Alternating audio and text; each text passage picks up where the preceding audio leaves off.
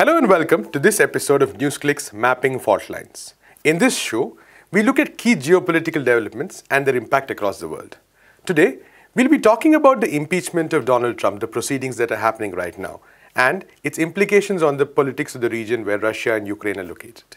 To talk more about this, we have with us Prabir Purkayastha. Hello, Prabir. Prabir, so this week is a key week for the impeachment proceedings. The US House Judiciary Committee is going to see to drop the articles of impeachment. First of all, they're going to see if there is a case for impeachment in the first place. And we'll get to that a bit later. But before that, a lot of the narrative that was going on during the impeachment proceedings, the, the hearing of the witnesses, was about how the so called quid pro quo efforts of Trump ended up weakening a crucial ally that was Ukraine, which was a bulwark of, uh, say, force against Russian aggression and th- that was the whole narrative that was being peddled.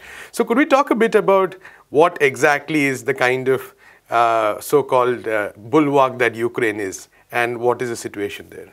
You know, first is we don't really understand the United States politics sitting from outside because we seem to have originally seen the Republicans as a party of war.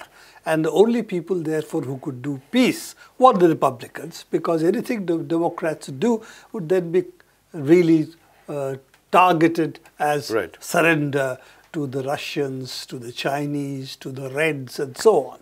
From that, we now seem to see Democrats as a party of war, which is now saying there should be no peace with Russia, and everything should be in the scenes from the prism of Russia subverting our key allies, and Ukraine is being now talked about. Now, interestingly enough, Ukraine is not officially an American ally. In fact, Ukraine was positioned in between the two blocs for quite some time, and Yanukovych was trying to play one against the other and preserve a certain degree of uh, mobility or flexibility of the Ukrainian uh, government. Partly because Ukraine is next door to Russia, there is a huge section of its population who speaks Russian or are ethnically Russians. A lot of its economy is tied up to Russia. It has to sell to, or used to sell to Russia, and therefore its natural trading partner was Russia. Right. As against this, trying to tie up to the West has the problems that A, it would mean that what Ukraine would supply would therefore be only raw materials or its people. And that was not going to give Ukraine as good terms of integration or uh, trade as the trade with Russia was. Therefore, Yanukovych was trying to play both sides. But all of it collapsed because, as you know, the Maidan revolt, which was backed by uh, various forces, including obviously NATO, and you had US senior government officials of the United States going in and even talking to the Maidan people, at the end of which Yanukovych ran away, essentially, and Poroshenko came into power. Now, what is forgotten is there is a larger picture here of NATO, which when the negotiations had take, taken place over Germany, was supposed to stop at the German borders. This was the uh, assurance given to Gorbachev during that time that if you let Germany reunify, then we, the NATO's eastward march would not take place, it would stop in Germany.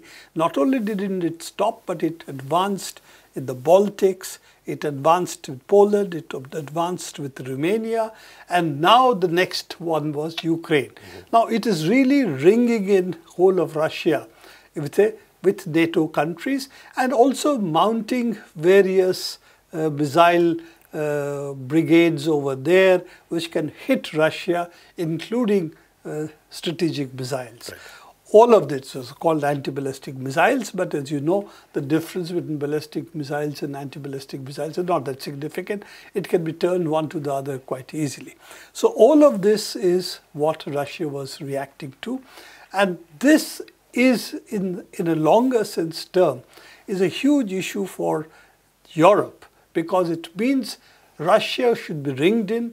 The battle over dominance of Europe will be waged between really the United States via its proxies and Western Europe essentially would not be able to integrate in the Eurasian landmass, which is really Russia and China, the right. big markets, and lower down with India, but they would be tied up to the United States. This is the larger geostrategic picture mm -hmm. when you talk about Ukraine. Mm -hmm. It's also interesting to see, actually, whenever a Ukraine ceasefire has been uh, announced or has been negotiated, it has been with the European countries and Russia along with the Ukrainian forces. And unfortunately, most of those agreements have remained uh, dead on water because the United States didn't back them at all. In fact, it backed the other side. Zelensky came into power with the argument that we will seek peace hmm. because one part of uh, Ukraine, which is also ethnically Russian, has decided that it doesn't want to be part of what the Maidan regime brought out, which was old-fashioned Nazis. And they had been a part of Hitler's uh, armies, they had been a part of the pogroms over there against the Jews, and they essentially were the ones. And there are, again, forces which have been openly talked about as fascist forces by European uh, countries and by even the United States. So those are the forces who had dominated the Ukrainian government and wanted a fight with first the eastern part of Ukraine, which was fighting uh, to keep its autonomy and wanted to secede virtually, which the Russians have backed politically, but not for secession. Right. So they want a more autonomous eastern Ukraine and not an eastern Europe, which becomes tries to become a part of Russia. So that Russians have never supported. But effectively, what has happened is any attempt to reach peace has been sabotaged. Zelensky again came on the platform that he wanted to settle the issue with Eastern uh, Ukraine and also reach some agreement with Russia and try for a peace with Ukraine. This seems to be anathema to the section of the Democratic Party who have talked about Trump and Ukraine's uh, tie-up and the fact that Trump tried to pressurize Zelensky to investigate Biden. Now, we've discussed this earlier. The question is, Trump seems to have acted crudely. Presidents of the United States, of course, do all, all of these things. But do they do it that openly? Do they pick up a phone and call the president of another country, do this or do that? Those questions will leave to the US uh, Senate and the US uh, Congress. Mm -hmm. The point that I'm making is the issue, if you take Ukraine, and Russia, then obviously this is a much more a matter of Europe. Mm. And this, the fact that we are seeing the Democratic Party claim that Trump is some way or the other a stooge of Putin, a stooge of A, stooge of B, and is trying to do various things, actually exposes that the, this, this country today, the United States, cannot be cannot really sign any agreement because if one side signs agreement, other side pulls, pulls out. We saw Paris Trump pulling out, pulling out of the Iran agreement. Right. And now we see Ukraine, whatever they do, whichever part, party comes into power, if they want to force to settle Ukraine, then they will get Iran. If they settle Iran, then they will get Ukraine. Right. This seems to be the kind of po policies each party is playing with the other. And the net result is we really have a situation where no peace is possible right. anywhere in the world because the United States domestic squabbles mm -hmm. will see to it, whether it's Iran or it's Ukraine, a peace doesn't take place. Right.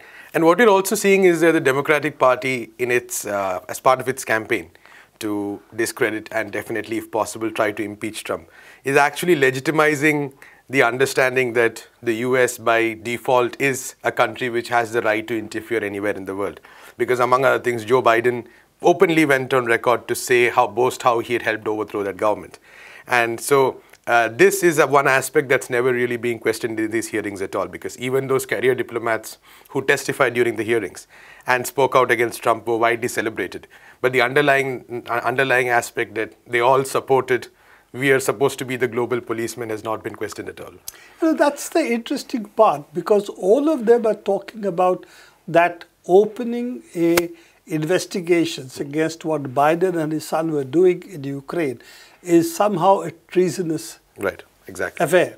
But openly subverting Ukraine's democracy, Ukraine's limited, shall we say, democratic elections. That's entirely legitimate. Exactly. And this is also part of what the US has done. If you remember, there was a Time magazine year, year cover which celebrated that the United States won the election for Yeltsin. Hmm. Okay? Nobody contests that. Nobody says, well, you know, that wasn't supposed to be done. The United States has openly, militarily invaded, I think, in the last 50 years, more than 90 countries. Nobody questions that in the United States till the body bags come home, which it did in Vietnam. Otherwise, it's perfectly okay as long as it is drones, it is other instruments of war, not directly people, the United right. States losing its soldiers. So this is one part of it. But you know, if you take the question of Ukraine itself, there is also enough grounds to show that the Democrats have been involved with Ukraine or Ukrainians in the US elections, in 2016 elections, if you argue that Trump was being helped by the Russians, again, as we have said earlier also, the click farm which were trying to get clicks, were trying to get clicks on both sides. The fact they got more clicks from Trump's is simply the fact that Trump's supporters are probably more active in such, such clickbait operations right. and they're more prey to fake news than other parties are. But if you leave that out, there were clear Ukrainian fingerprints against Trump because they thought that the Trump could mean some rapprochement with Russia, and this is not in the interest of the Poroshenko regime at that time. And they were trying to help, it's argued. There is Chapul Chalupa, who was a part of the Democratic uh, National Committee's effort. She was a contractor there. There's an argument that CrowdStrike is a uh, ethnic Ukrainian who runs that company, though a US citizen, and somehow the CrowdStrike fingered the Russians without much evidence. And even today, the, those uh, servers of the Democratic National Committee has never been uh, forensically examined by the US intelligence agencies, though they have given reports regarding the, that, uh, but based purely appears on the CrowdStrike report. So all of this would seem to indicate that intervention in US elections is all, uh, all right as long as it happens to see that the Russians are the main enemy. Mm -hmm. If there is any attempt to have a rapprochement, even which is the interest of the United States itself, that should be abjured. And this is really a part of what I would say is the continuance dominance of the war lobby in the United States and what somebody has called the never-ending wars, right. which the US today sees it as its pre primary economic uh, activity. Mm -hmm. War industry of different kinds is what really drives the US economy and therefore they can never let go of the of the wars. And I think one of the uh, articles that I saw recently uh, written by an ex-army officer is that as the wars become against smaller and smaller countries that the US wages, the number of medals the generals wear on their chest right. seems to be growing. Right. Now apparently the generals have seven rows of medals on their chest while in the after the second world the world war they had only three so you can see that there is a war industry and there is a war veteran industry mm -hmm. which is decided by how many medals you get right. and that is what you wear to the tv stations and that determines also the amount of money you get as a consultant and as a media commentator right and finally to look at uh, the impact of all this inside the united states itself like you mentioned this is an extremely complicated process and the Democrats themselves seem to be in a bit of a fix. There is one side arguing against doing any of these proceedings. There's one side calling for a censure motion, which would basically end the impeachment process there. And there's definitely a hardline side which wants to go ahead with the impeachment process nonetheless. So do you think that if there is, this process does go ahead, there is any possibility of Trump actually being affected by any of these proceedings or is he actually likely to benefit? You know, one thing is the crystal ball gazing for predicting elections, a very, very risky exercise. If I look at the crystal ball, I have not been a very successful one. It came to Indian elections. So why should I be better off on the American, the United States elections?